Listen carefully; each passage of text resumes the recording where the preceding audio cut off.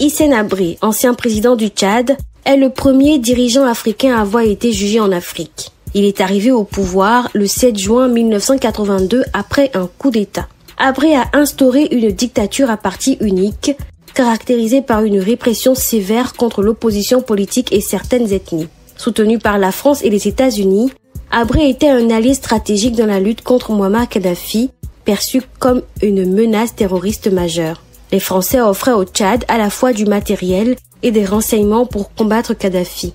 Mais en réalité, ces instruments seront également utilisés pour torturer le peuple tchadien. Ses relations avec la France se sont détériorées en raison de son attitude arrogante, notamment envers les officiers français de l'opération Épervier.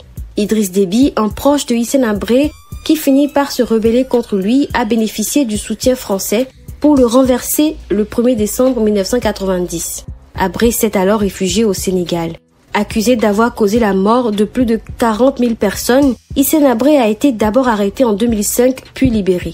L'Union africaine a ensuite chargé le Sénégal de le juger. Les crimes de son régime tels que l'incendie de villages, l'esclavage sexuel, la torture et les assassinats ont été documentés par Human Rights Watch qui a recensé plus de 12 000 victimes. En 2016, Abré a été jugé par les chambres africaines extraordinaires et reconnu coupable de crimes contre l'humanité, de viol, d'esclavage et d'exécution.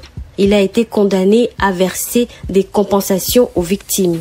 Hissène Abré est décédé à 79 ans au Sénégal où il avait été condamné à la prison à vie. Aujourd'hui encore, son régime reste une période traumatisante pour les Tchadiens, même pour les générations qui ne l'ont pas connu directement, bien que certains lui reconnaissent le mérite d'avoir défendu le territoire tchadien.